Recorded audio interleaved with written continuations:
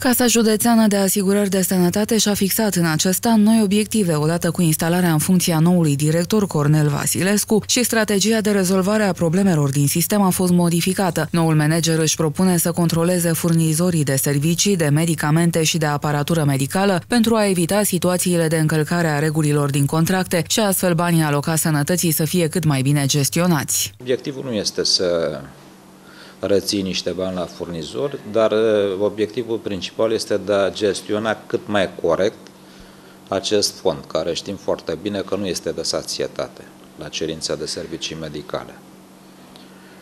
În plus de aceste controle operative, le introducem tot în sistemul operativ ca un fel de paralelă, în parteneriat cu colegii farmaciștilor, Chiar de săptămâna viitoare, angajații Casei de Sănătate vor începe verificări la farmaciile și furnizorii de medicamente din județ. Dacă vor fi constatate nereguli, acestea se vor lăsa cu sancțiuni, situație de care se va ține cont odată cu încheierea unui nou contract. Vor fi controle inopinate pe toată rețeaua farmaceutică din județul Buzău și asta plecând de la oficine până la farmacii.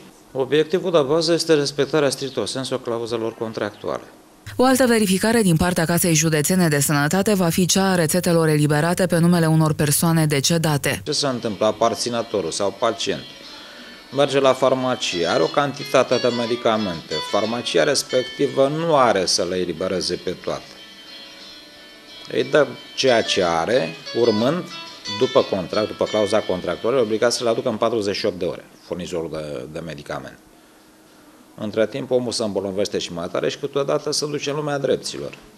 O rețetă apare ca decontată, ulterior decesul. Controlele la farmaciile din județ vor demara săptămâna viitoare și se vor face în urma unui protocol încheiat între CJAS și Colegiul Farmaciștilor din Buzău.